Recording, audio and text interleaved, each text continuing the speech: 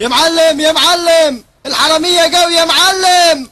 حرامية إيه ولا إيه؟ أنتوا خايفين كده ليه؟ الله.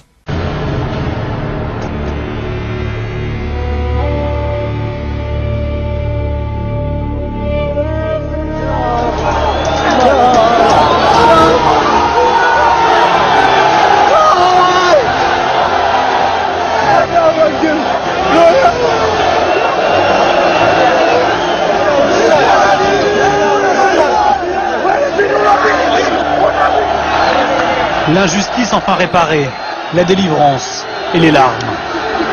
On l'a mérité. Ils nous ont tout fait. Mais on est qualifiés pour l'Algérie et pour le monde du sport, pas pour les salauds. Agressée en Égypte, l'Algérie vient de prendre une éclatante revanche. Elle est qualifiée pour la Coupe du Monde.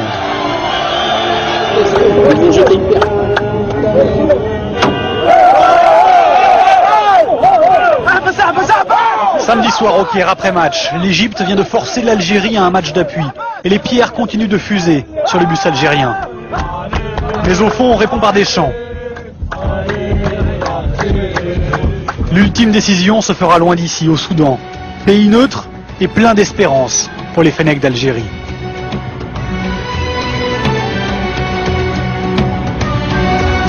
On a perdu, on a perdu le match. On s'est fait caillasser après le match.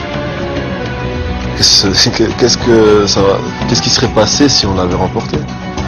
Maintenant, on a réussi à sortir de ce pays euh, presque sain et sauf. Et quand on a posé un pied ici, au Soudan, et qu'on a vu tous les Soudanais, plein plein de Soudanais nous attendre, avec euh, pas mal d'Algériens aussi, on s'est senti comme si on était euh, que la prise d'otage était finie en fait. Changer d'air a libéré les Fennecs. Terminer l'hôtel bunker du Caire. Les plaies physiques et morales n'ont pas encore disparu, mais elles sont derrière. La plaie s'est refermée. Normalement, on sera au top, Inch'Allah. C'est le match du siècle, là. On va pas passer à côté, hein. Eux non plus ne veulent pas rater ça. À la même heure, ils sont encore des milliers à Alger devant le siège d'Air Algérie. Le président Bouteflika emmène gratuitement 12 000 supporters par vol spécial. 25 avions décollent les uns après les autres, direction Khartoum.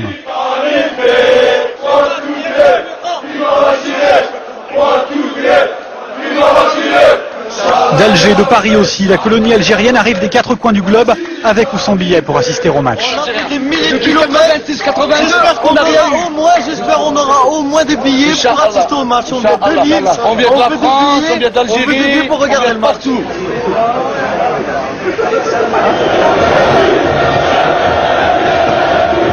Mercredi, ils sont 15 000 Algériens à Khartoum pour 10 000 billets seulement. Tout le monde n'a pu rentrer. À 3 heures du match, le stade est bondé, l'ambiance monte.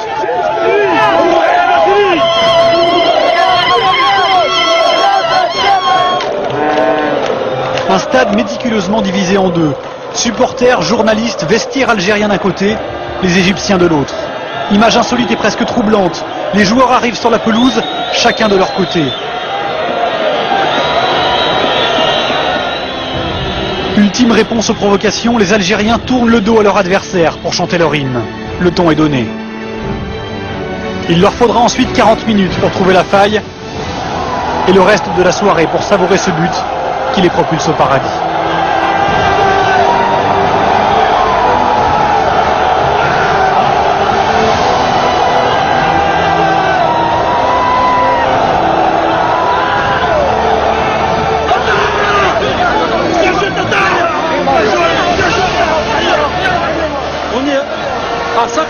On y est, on y est au mondial, c'est mérité.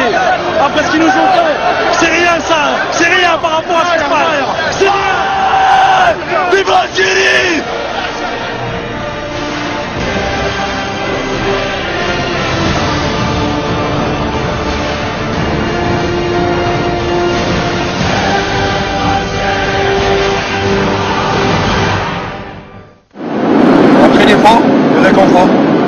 Hier matin dans l'avion, derniers instants de répit avant le retour triomphal en Algérie. Ça sent la maison.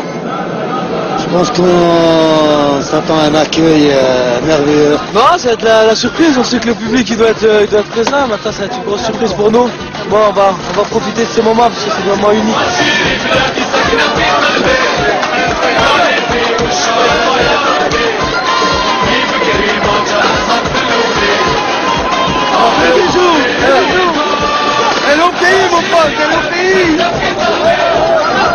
Fanfare, pleurs et tapis rouge. L'Algérie n'a pas encore gagné la Coupe du Monde, mais c'est tout comme.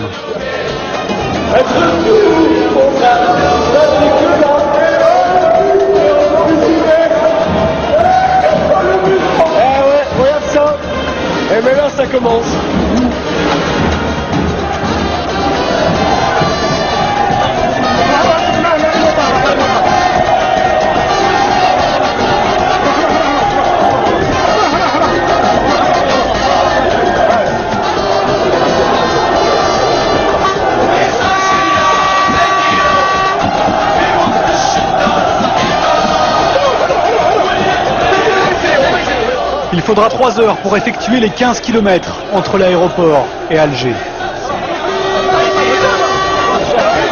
Des scènes de liesse jamais vues depuis l'indépendance.